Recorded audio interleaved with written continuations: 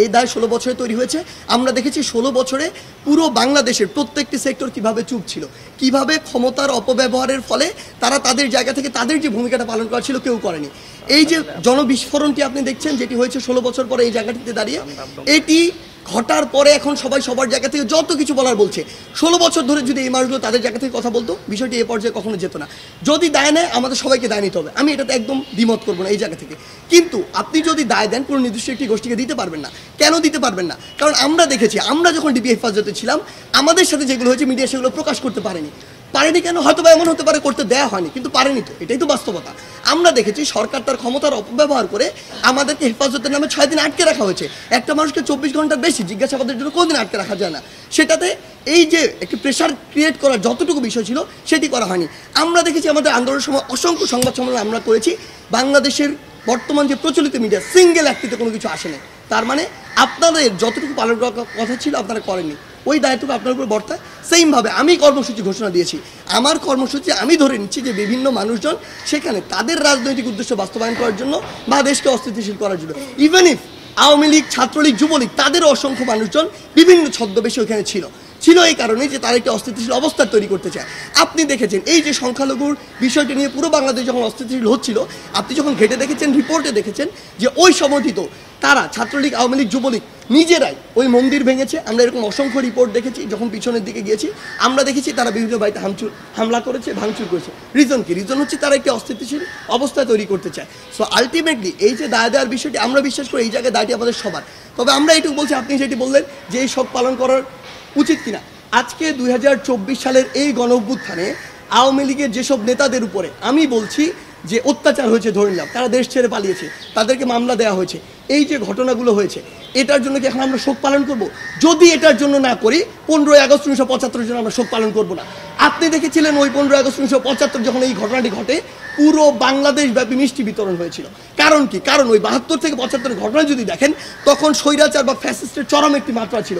ইতিহাস ঘাটলে আমরা এটি দেখতে পাই যে তখন আসলে আলটিমেটলি যা হয়েছিল এক জায়গার নির্দেশ থেকে হয়েছিল। এটি বাংলাদেশের মানুষের কোনো ইয়া ঘটেনি। এমনকি বাংলাদেশের সাধারণ মানুষ ওই সময় যে বিষয়টি হয়েছিল, যে সাধারণ মানুষ তার যে বিচারটি সেটি পায়নি। বরং বিচার নির্দিষ্ট একটি ঠিকানা থেকে, ধানমন্ডি বত্রিশশো কয়েকটি ঠিকানা থেকে পুরো বাংলাদেশে যেত। সো ওই সময় সামগ্রিক একটি বিপ্লবের ফল ওটি ছিল আসলে। আপনি যাদেরকে আজকে মানে দোষ দিয়ে ফাঁসিতে ঝুলাচ্ছেন, দেশের বাইরে পাচার করছেন। তাদের সাথে কি হচ্ছে আপনি সেটি কেন বলছেন না? বিগত ষোলো বছর ধরে আপনি এটি বলেন নাই, কারণ বললে হয় আপনার চাকরি থাকতো না হয় মিডিয়া থাকতো না। This is the reality so fact হচ্ছে আলটিমেটলি আপনার পিছনের ঘটনার দিকে যেতে হবে। আজকে চব্বিশ সালে যা হয়েছে, এটা চব্বিশ সালের ঘটনা বিগত ষোলো বছর ধরে হয়েছে, তার ঘটনা। সো আমাদের জায়গা থেকে আমরা মনে করি, শুধু আমাদের জায়গা না, বরং রাষ্ট্রীয়ভাবে এই যে শক্তি, এটি পালন করা উচিত নয়। কোনোদিন সিঙ্গেল কয়েকজন মেজর বা আর্মি অফিসার মিলে এই যে একটি অভ্যুত্থান, সেটা পনেরো আগস্টে উনিশশো পঁচাত্তরে ঘটাতে পারতো না। বরং এটি একটি সামগ্রিক ক্ষোভ ছিল এবং সবার ওই যে একটি নীরবতা, নীরবতার সমর্থনেরই কিন্তু একটি লক্ষণ। সেই জায়গা থেকে আমরা বিশ্বাস করি যে এই আপনি যে কথাটি বলছেন, এটিতে আমরা সমর্থন করি না। হ্যাঁ বুঝছি আমি একটা জিনিস স্পষ্ট করে বলি। ছাত্র সমাজ এই সংকটের সময় যেটি করেছে সেটার জন্য তাদেরকে আমরা ধন্যবাদ জানাই ফার্স্ট সেকেন্ডলি ছাত্র সমাজ রাস্তায় থাকা কখনো একটা দেশের স্থিতিশীল অবস্থার পরিচয় না। ইভেন পুলিশ তাদের যেখানে দায়িত্ব পালন করার কথা ট্রাফিকের জায়গাটির কথা যদি বলি, সেখানে না থাকা এটাও স্থিতিশীল অবস্থার পরিচয় না।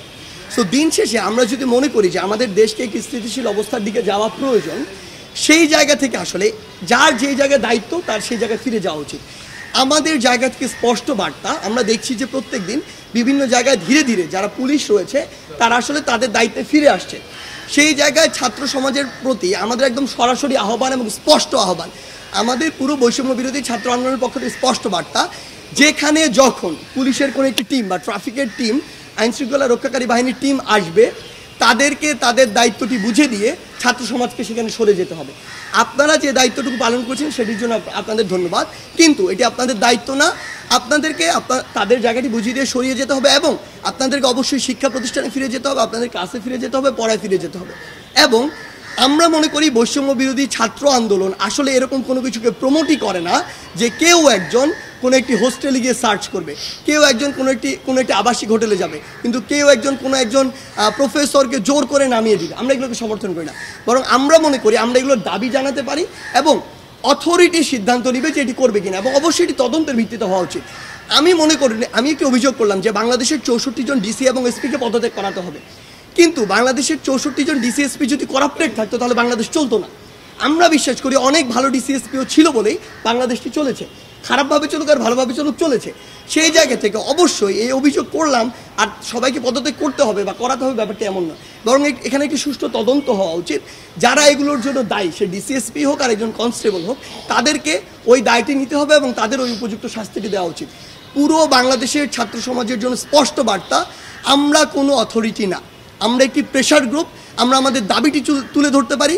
আমরা দুর্নীতিবাজদের অপসারণের জন্য, ক্ষমতার অপ, অপব্যবহারকারীদের অপসারণের জন্য দাবি তুলতে পারি। কিন্তু এটি করতে বাধ্য আমরা করতে পারি না। আপনি যে কথাটি বললেন, আমার মনে হয় এই কথাটি অল্প কিছু মানুষের একটা রিপ্রেজেন্টেশন এবং এই হয়তো এই রিপ্রেজেন্টেশনটা গতকালকের কিছু অপ্রত্যাশিত ঘটনার ভিত্তিতে আপনার কাছে এসেছে।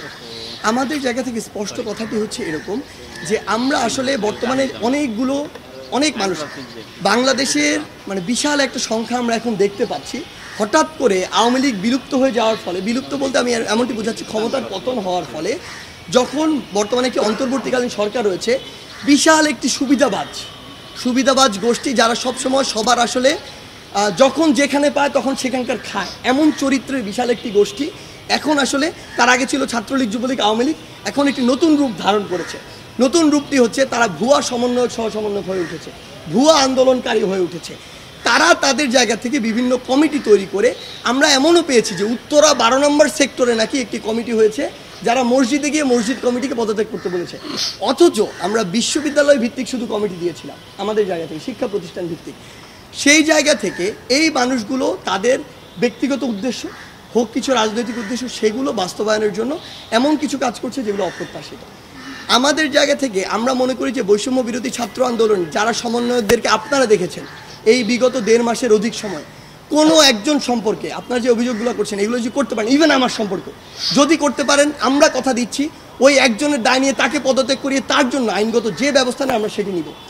আমরা মনে করছি যে অন্তর্বর্তীকালীন সরকারের এই যে অল্প একটু সময় রয়েছে, এই সময়টুকুতে দেশ একটি স্থিতিশীল অবস্থায় আসার পূর্ব পর্যন্ত, অর্থাৎ যখন আমার মনে হবে যে চক্রান্ত করার যে বিষয়টি তাদের ওই বিষয়টির যে সম্ভাবনা সেটি কমে এসেছে, দেশ স্থিতিশীল অবস্থায় রয়েছে। এমন অবস্থা মনে হলে আমরা এই বিষয়ে আলোচনায় বসে সিদ্ধান্ত নিব, কারণ আমরা আগেই বলেছিলাম যে এটি আমরা লং টার্মে এই এই প্ল্যাটফর্ম ব্যবহার করার আমাদের কোনো উদ্দেশ্য নেই। তখন আমরা এটি সিদ্ধান্ত নিয়ে যা করার এই প্ল্যাটফর্মটি নিয়ে সেটি সিদ্ধান্ত নিয়ে আপনাদের সবাইকে ডেকে আমরা জানিয়ে দেবো, শেষ করে। জানিয়ে দিব এবং আমরা এটি স্পষ্ট করে বলি, কেন আমরা এটি বলছি? কারণটা হচ্ছে এখনও আপনারা সবাই জানেন, আমরাও জানি। অর্থনৈতিকভাবে হোক, আইন শৃঙ্খলার দিক থেকে হোক, বাংলাদেশও স্থিতিশীল অবস্থা আসেনি। আমরা যদি মনে করি যে আজকে থেকে সাত দিন পরে এরকম একটি বড় চক্রান্তের আভাস আমাদের কাছে এসেছে, তখন তো আমাদের রাজপথে নামতে হবে, একটি ডাক দিতে হবে। সেই জায়গা থেকে এই স্থিতিশীল অবস্থাটি আসার জন্য আমরা অপেক্ষা করছি। এমপি, মন্ত্রী, পুলিশ বা যারা আছে, সবার কথাই বলছেন তাই তো? ফাইন দেখুন, আমি প্রথমে আমি এটা ক্লিয়ার করি। প্রথমে এটা ক্লিয়ার করি। ষোলো বছরে ফ্যাসিস্ট আওয়ামী লীগ সরকারের সাথে বিভিন্ন পদে হোক মন্ত্রী, হোক প্রধানমন্ত্রী, হোক এমপি, হোক কোনো একটি নির্দিষ্ট ইউনিটের প্রেসিডেন্ট সেক্রেটারি কিংবা প্রভাবশালী কেউ একজন। এই যারা ছিল, তারা প্রত্যেকেই এই ফ্যাসিস্ট গভর্নমেন্টের এক একজন স্টেক হোল্ডার ছিল। তারা তাদের জায়গা থেকে প্রত্যেকে কোনো না কোনো ভূমিকা রেখেছে। একজন ওয়ার্ড আওয়ামী লীগের কোনো একজন কর্মীও ওয়ার্ড বিএনপির কোনো একজন কর্মীকে টর্চার করেছে। এই দায়টি সে এড়াতে পারে না। অর্থাৎ এই যে পুরো বিষয়টি, আওয়ামী লীগের সাথে যারা সরাসরি রাজনীতির সাথে জড়িত ছিল, তাদের প্রত্যেকের এই দায়টি আসলে নিতে হবে। তাই এটি কেউ বলতে পারবে না আসলে যে একজন এমপি কিংবা একজন মন্ত্রী সে তার জায়গা থেকে স্বচ্ছ ছিল, সে কাউকে মারেনি। সে মানেনি, সে ষোলো বছর ধরে মানুষের ভোটাধিকারটা একদম ধ্বংস করে দিয়েছে এবং সে মানুষের ভোট ছাড়া নির্বাচিত হয়েছে। সে তো সবচেয়ে বড় মানুষের যে রাইটটি যে সে ভোট দিবে, তার জনপ্রতিনিধি নির্বাচন করবে, এই এই অধিকারটি ধ্বংস করছে। তার মানে সে ডিরেক্টলি আর ইনডিরেক্টলি দায়ী। এবং আমি যদি আপনাকে বলি, আমাদের অ্যাকচুয়ালি মানে গোড়াটা কোথায় সমস্যা? গোড়াটা ওই নির্বাচন ব্যবস্থা। যখন জনগণের ভোটাধিকার নাই, জনগণ কাউকে নির্বাচিত করতে পারছে না, যে কেউ একজন প্রতিনিধি ওই সময় দেখেছে, সে যদি তার ঊর্ধ্বতন কাউকে তেল দিয়ে তোষামত করে, টাকা দিয়ে এই কাজটি করতে পারে, যে মনোনয়নটি নিতে পারে, তাহলে সে এমপি। তখনই সে জনগণের কথা ভুলে গিয়েছে। আলটিমেটলি জনগণের ভোট তার প্রয়োজন হয় না। সেই জায়গা থেকে তার ইচ্ছা মতো কাজ করেছে। সে ওই জায়গায় একশো কোটি খরচ করেছে, সে জনগণের সম্পদ এক হাজার কোটি লুটপাট করেছে। আলটিমেটলি তাকে জনগণের কাছে জবাবদিহি করতে হয় না এটার জন্য। এবং জনগণকে ভোটের জন্য ফেস করতে হয় না। সো ওই যে গোড়ার সিস্টেমটি ওই সিস্টেমটির জন্য আসলে আওয়ামী লীগের যারা সরাসরি ছিল, যারা পিছন থেকে সামনে থেকে মদত দিয়েছে, প্রত্যেকজন দায়ী। এবং আমি বিশ্বাস করি যে প্রত্যেকজনের বিরুদ্ধে অন্তত এই ভোটাধিকারটি নষ্ট করার জন্য এবং এটিকে সাপোর্ট দেওয়ার জন্য মামলা করা উচিত। আপনি যে প্রশ্নটি করেছিলেন, যেদিন পাঁচ আগস্ট ওই গণঅভ্যুত্থানটি ঘটেছিল, ওই গণঅভ্যুত্থানের পরে একটি টিভি চ্যানেলে গিয়ে সমন্বয়কদের মধ্যে প্রধান সাত আটজন আমরা এখানে ছিলাম। আমাকে জিজ্ঞাসা করা হয়েছিল, কেমন একটি বাংলাদেশ আপনি দেখতে চান? আমার প্রথম উত্তরটি ছিল এটি। আমি পাঁচটি পয়েন্ট বলেছিলাম, প্রথম পয়েন্টটি এটি ছিল, আমি এমন একটি বাংলাদেশ দেখতে চাই বা আমরা এমন একটি বাংলাদেশ দেখতে চাই, যেখানে গণমাধ্যম তার যে সত্য কথাটি সেটি তুলে ধরার সর্বোচ্চ স্বাধীনতাটুকু পাবে। যেটা সত্য সেটাকে সত্য বলবে, যেটা মিথ্যা সেটাকে মিথ্যা বলবে। কাউকে যেন এই অধিকারটুকু দেয়া না হয় যে গণমাধ্যমকে কেউ সেন্সরশিপ করছে। আমাদের জায়গা থেকে আজকে পর্যন্ত না শুধু, আগামীতেও যদি আমাদের কোনদিন ভয়েস থাকে, এটি স্পষ্ট বার্তা থাকবে গণমাধ্যম গণমাধ্যমের স্বাধীনতা হরণ করার এই অধিকারটুকু কারণেই এবং এটি কেউ করতে পারে না। বরং আমরা যদি চাই দেশের এগিয়ে যাওয়া উচিত তাহলে এই স্বাধীনতাটুকু এই কারণেই দিতে হবে যে গণমাধ্যম আমাদের ভুলগুলো খুঁজে বের করে দিবে এবং ওই ভুলগুলোতে কাজ করে আমাদের সংশোধন করতে হবে। কারণ বিগত ষোলো বছর ধরে ওই ভুলগুলো বের হতে পারেনি কিংবা সংশোধন হয়নি বলে দেশের আজকে এই অবস্থা। দেশকে এগিয়ে নিয়ে যেতে হলে অবশ্যই এই সুযোগটি দিতে হবে। আমরা গতকালকে বা তার আগের দিন যে কয়েকটি ঘটনা দেখে দেখেছি, আমরা বিশ্বাস করি তাদের উদ্দেশ্য আসলে ভিন্ন। যদি উদ্দেশ্য ভিন্ন না হয়, তাহলে যে কাজগুলো তারা করেছে, ওই কাজগুলো মিডিয়া আসতে সমস্যা কোথায়? আমরা তো সব কিছু মিডিয়ার সামনে ওপেনলি করছি। আমরা আপনাদেরকে বলে দিয়েছি, আপনাদের যা ইচ্ছা আমাদের প্রশ্ন করুন, আমরা উত্তর দিতে প্রস্তুত। তার মানে ওই সৎ সাহসটুকু আমাদের রয়েছে। তো যারা এই কাজটুকু করেছে, অবশ্যই তাদের ভিন্ন উদ্দেশ্য রয়েছে। আমরা বিশ্বাস করি আপনারা কষ্ট করে হলেও তাদেরকে পুরো দেশের সামনে প্রেজেন্ট করুন।